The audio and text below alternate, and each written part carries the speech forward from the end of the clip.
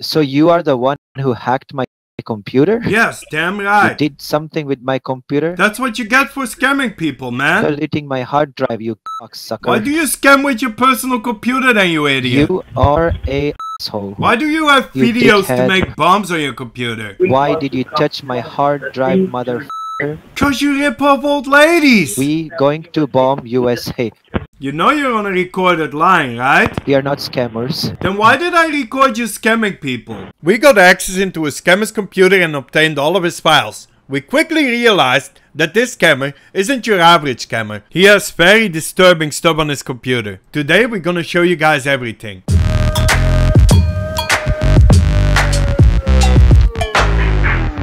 Recently, KDA Scambase reached out to me about a scammer who pretends to be Facebook that keeps trying to call her. Today we're gonna team up and try to hack him. Hello? This is this Mark? Hello? Yeah, this Hello? is Mark, Sarah. Yeah, this Oh, is Mark. hello. Yeah, can you hear me? Hello. This is Yes. Yes, I can hear you. yes. This did you reach home? Yeah, I'm at home now. I'm sitting in front of my computer. All right. Okay. All right. Okay. You take your time. Uh, once your computer is on, you just let me know. It should be. I'm just signing in right now. Is that a Windows computer or a Mac computer, Sarah? No, it's a Windows. All right. Yes. Okay. And thank you so much for calling me back. Okay. Thank you so much. You're welcome. All right. Can you see all the icons on the screen right now? All Yes, your I can. All right. Do you have a Google Chrome browser? Google Chrome or Microsoft Edge? Right away, the scammer wanted us to download software to take over our computer, as they always do. Yeah. Okay. This any AnyDesk is a backup support which doesn't allow any malicious files, any uh, infections or viruses, right, to download in your computer. It protects your system altogether from all unknown sources. Well, he's about to find out that that's not true. So you will see two red boxes over there. Download now. You click on that. Download now. okay. I clicked on it. Download. Once you give a click on download now, you will see in the top right hand corner a file is downloading anydesk.exe. Once it finishes, you need to open file. Open file. Double click on the file. Now we are going to let the scammer into our computer. First, let's go to today's sponsor. Did you know your personal information is being sold online without your consent? Data brokers are collecting your name, address, phone number, and even your financial details, putting you at risk for spam, scams, and identity theft. Every day your data is traded like currency, and removing it manually? Nearly impossible. But there's a solution. Incogni. Incogni works tirelessly to remove your personal info from data brokers and people search sites automatically. Here's how it works. Sign up and tell Incogni whose data to protect. They handle the removal request for you. Relax while Incogni keeps your data private for good. Stop data brokers today. Use code DEEVEEAAR for 60% off at the website in the description below. Protect yourself and your family before it's too late. Incogni, your data under control. Try it risk free for 30 days. And if you don't like it, you can get your money back for 30 days.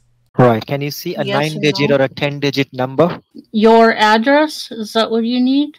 You're right. Right. A 10 digit number, right? You need to confirm me that. A few moments later. The scammer now has access into our computer. Right. At the very extreme right hand top corner, you will see a cross, black cross, right? A red cross. Just below that, you will see four dashes like a hamburger menu. Extreme right hand top corner beside the Mm. arrow. Can you see that? Uh, yeah, I can see it. Click on that four four dashes in the extreme right hand top side And we got access into the scammer's computer. beside the Mm. arrow. Can you see that? Uh, Immediately, we started to download all of his files. And okay. what basically you do on this computer, you you play games, you check emails. Uh, what do you do? I check emails. Uh, I do everything uh, that a normal on a normal computer, like check emails.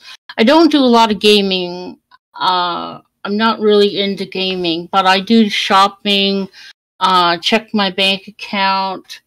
Um, just normal everyday computer stuff.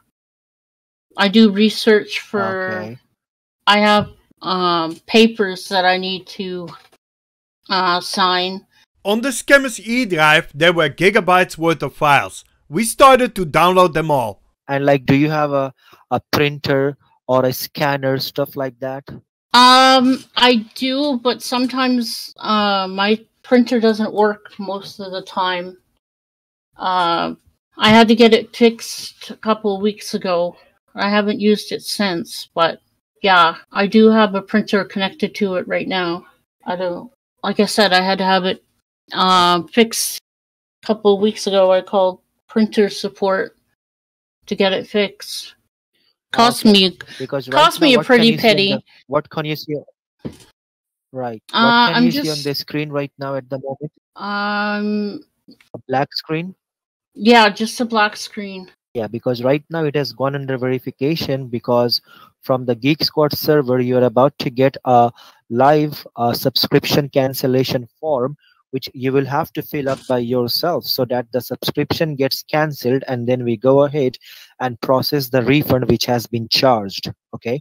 So once you will see the screen has come up, you let me know. Till then, do not do anything. Okay. While we continue to transfer the files from the scammer's computer, KDA filled in the fake refund form. All right. I see a um live cancellation form. Right. You need to start filling it in. Starts with your first name. Okay.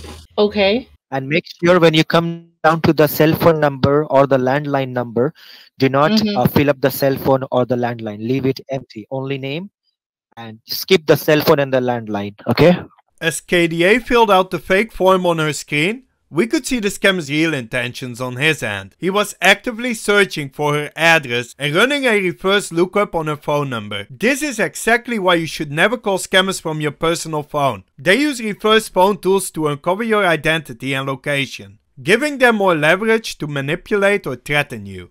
So it's four ninety nine dot ninety nine, right? That's my refund. 499.0 point zero zero. Okay. Okay. Okay. I filled it all out. Do I hit submit? all right yes you need to hit submit Okay. At this point, the scammer wanted KDA to go to a Bitcoin ATM to get Bitcoin. On the scammer's computer, we could see he was looking up the location of one near her address. We decided to play along and pretend to drive to a store and string him along. At this point, we already obtained all the files. We baited him for a good hour, after which we pretended to crash the car. Oh. Oh my god. I just got in a crash. Oh my Like, god. with someone Then we left him hanging without money. If you guys want to see this, let me know in the comments and we will make it a separate video. Because this scammer had an external hard drive plugged in and we could access many drives, we managed to permanently delete well over 10 million files. Now it's time to go over the files obtained. When we accessed the scammer's computer, we expected to find the usual things. Stolen information, fake documents or victim list. And we did find those. A long list of victims including phone numbers, which we contacted and helped save from falling into this trap. But we also found something way more alarming.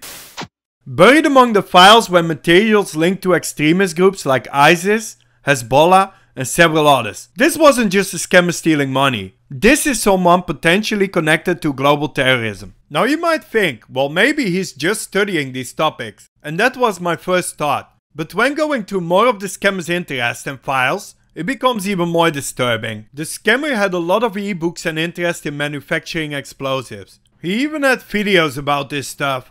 We decided not to dig deeper and just reported all to the authorities. A day later, I managed to get him on the phone and confront him. hello this is mark this side Yes, Hello, hello, Mark. Mark. Can I ask you why you have all that terrorist stuff on your computer? so you are the one who hacked my computer Yes, damn right. you did something with my computer That's what you get for scamming people, man. deleting my hard drive you cocksucker Why do you scam with your personal computer then, you idiot? You are a asshole. Why do you have You videos to make bombs on your computer? Why did you touch my hard drive, motherfucker? Cause you rip off old ladies! We going to bomb USA. I'm gonna get you on the FBI watch list, you sick fuck. We are going to bomb your countries. You know you're on a recorded line, right? We are not scammers. Then why did I record you scamming people? You hmm? people are the real terrorists. Why you bomb Middle East? I thought a lot about the implications of this all. And it brings me to the following realization. Many reports reveal that a significant portion of terrorism funding comes from scams. This means that our work may not only protect people from being scammed, but could also disrupt the financial lifelines that support terrorism. By taking down these scams every day, we might even be preventing attacks and saving innocent lives, although this cannot be definitely proven. Scambaiters put in extraordinary efforts, and their dedication has saved countless people from falling into the traps of scammers. Our work has far-reaching impacts that go beyond just protecting individuals. It could be contributing to global safety. Thanks for watching. If you like what we do, please make sure to hit the like and subscribe button. Your comments below are always appreciated also. Be sure to follow me on my socials. If you want to report a scam, scan the QR code below. Here's a couple more great videos for you to watch. Until next time.